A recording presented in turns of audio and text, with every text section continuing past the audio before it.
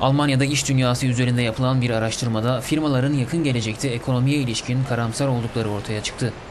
7000 şirket üzerinde yapılan araştırmada ekonomide güven endeksinin son 3 yılın en düşük seviyesinde olduğuna dikkat çekiliyor. Araştırmayı gerçekleştiren ekonomistler Alman firmaların krizin etkisini hissetmeye başladığını söylüyor. Äh,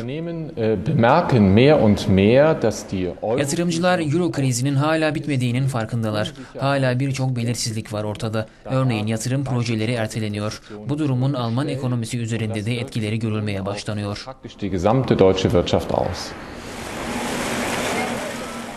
Euro bölgesinde bulunan aktif firmalar son 3 yıl içinde en kötü performansı sergiledi. Araştırmada satın alma gücünün de gittikçe kötüleştiği belirtiliyor.